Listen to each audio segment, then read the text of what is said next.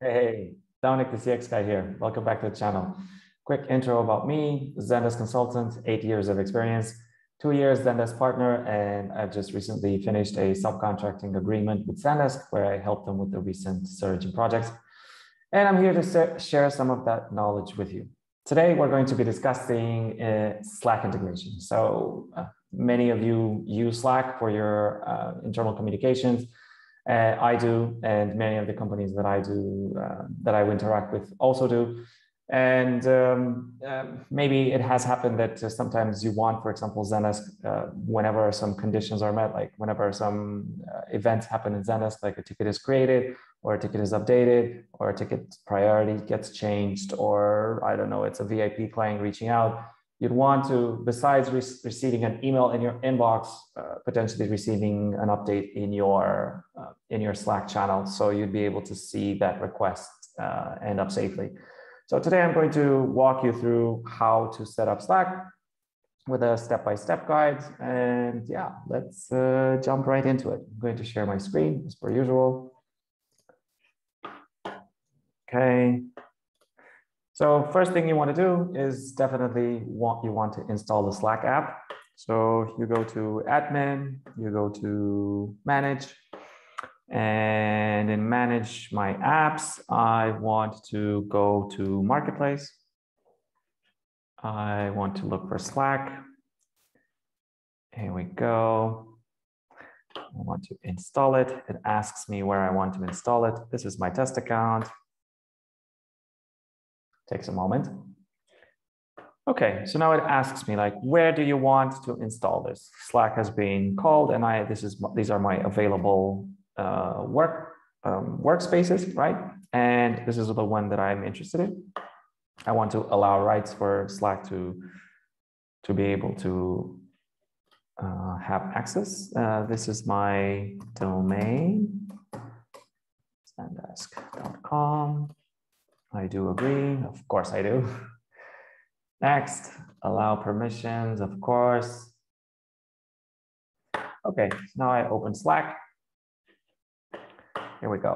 Here we go. So this is my Slack app. It has been installed in apps.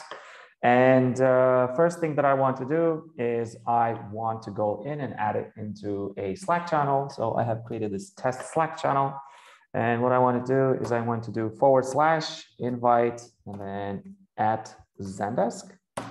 So what this does is it takes uh, my installed apps inside my Slack interface and installs them in this channel, right? So I have uh, right now installed my, um, my app in here.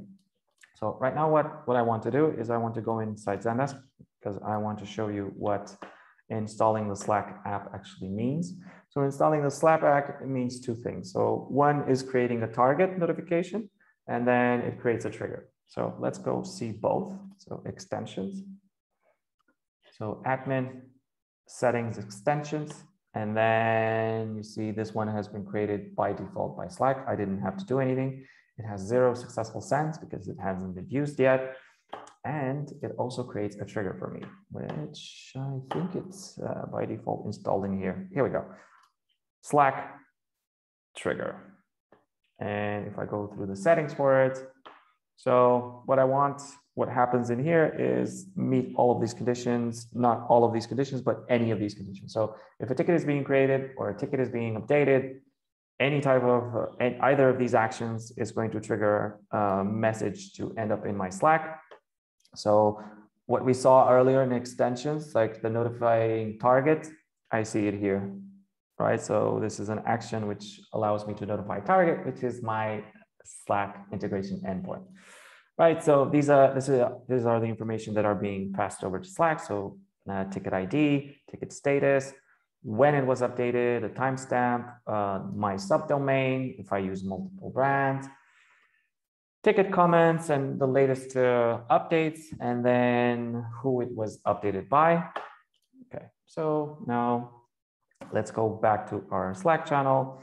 And we want to right now set up this um, app in this Slack channel to do some actions for us. And I want to do this. I want to say Zendesk settings.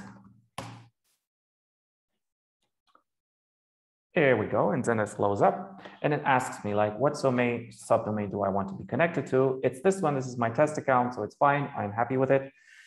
But then it asks me like, what kind of ticket notifications do you want to happen inside Slack? So I need to add a channel, right? So in my case, I want to add it in this test Slack. Uh, I have multiple, but um, I have only added it to this Slack channel, right? So I click next Okay, so now it asks me like, okay, what type of notifications would you like to receive in the Slack channel? So now I can see that I'm receiving, for example, by default. So um, if you set it up, you'll see that uh, by default you get selected with updates to a new ticket or open tickets. But I want to activate all of them. So all of my available notifications because I want to be very prolific and receive updates in my Slack. So let's see, I want to see ticket is created. You see it moves up here at the selected notifications, updated on pending tickets, updated on on hold tickets, and updated on solved tickets. I want to click next. Okay, and then it asks me like, what groups do you want to allow for this uh, notification, to send notifications to this channel? And I want to do all. Now I click done. And I can do the same setup, for example, for answer bots, but we're not going to go into that, into that right now. And you can also give feedback if you're not happy. So what we're going to do now is we're going to go into Zendesk and we will create a test ticket to see if it ends up in Slack and if our setup worked.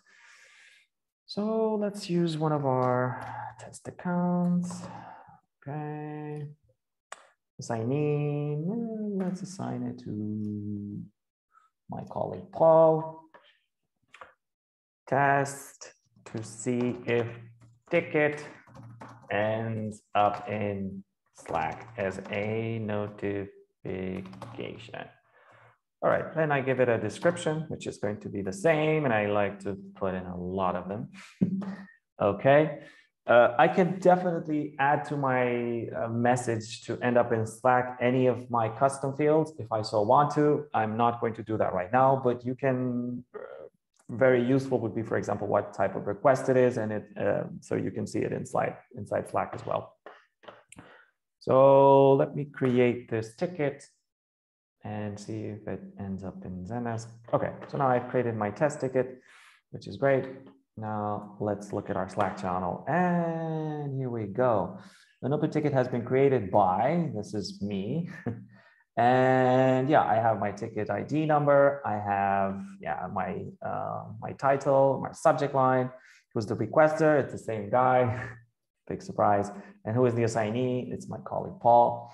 Yeah, and this is the description. So what it is, uh, what it is important to notice or to know actually is that you don't necessarily have to be sending in any type of tickets inside Zendesk. So anytime a ticket is updated, obviously you have to realize that you'd get uh, inundated with, uh, let me shut down my uh, screen, uh, uh, my screen recording.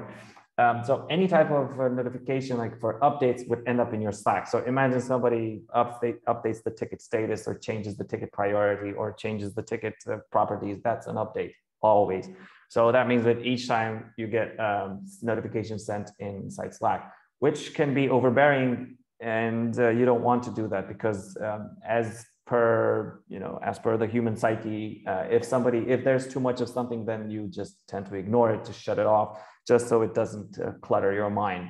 So it is important to think about uh, to be productive um, to select some types of tickets that you actually do want to send up in your slack channel. Meaning new tickets created via for example via email uh, via for example complaints email right? So those seem to be important because if somebody sends you a complaint they I don't know, they're not happy. So, so you might want to see that first, like you want to jump on top of it. Or for example, a ticket priority changes to urgent and you want that to end up in Slack as well. So you have visibility if you're a team leader and you're always logged in in Slack, you have notifications turned on on your, on your phone, um, you'll be able to see it and you'll be able to, tra to track it. Now, again, too much of something makes your mind shut it off and you don't, you're not going to pay attention. So please be mindful of the types of inquiries that you want to end up in your Slack channel. So you make sure to, uh, to catch them. I hope this helped. So um, I guess I'll see you tomorrow. And if you want to see some special content, please go ahead and, and comment what you'd like to see. Uh, give me a like if you if you want to, uh, and maybe subscribe to the channel because if you've seen like my subscription rate is very very low, and I could really use it, and I really appreciate it. Thanks. See you tomorrow.